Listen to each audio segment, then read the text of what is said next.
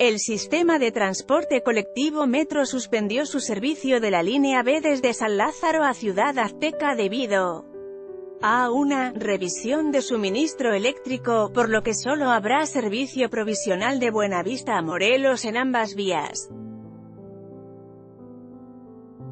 El anuncio de la revisión se dio después de las 9 de la noche horas, provocando que miles de usuarios abandonaran las estaciones. Y con ello, una molestia generalizada manifestada en redes sociales. Los usuarios desalojados señalan que no hay transporte alterno para que los lleve a sus destinos. En Twitter difundieron imágenes donde se ve cómo desalojan un tren completo a través de una sola puerta en la estación Ciudad Azteca. Lee ahora, tras falla en el metro, aún falta el cambio total de cables y restablecer suministro de energía, STC falta de refacciones y mantenimiento provocan fallas en servicio datos del metro entregados.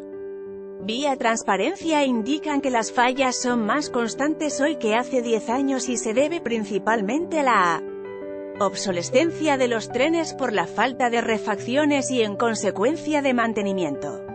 De 11 tipos de fallas referidas por el sistema de transporte colectivo, en 7 casos se detectó que ocurren con más frecuencia que hace una década. Se trata de fallas en el sistema de pilotaje automático de los trenes y en el sistema del puertas, ASI como en los equipos de mando y control, equipos de gestión generación de energía eléctrica, equipos de generación de aire comprimido, equipos mecánicos, equipos y accesorios de cajas.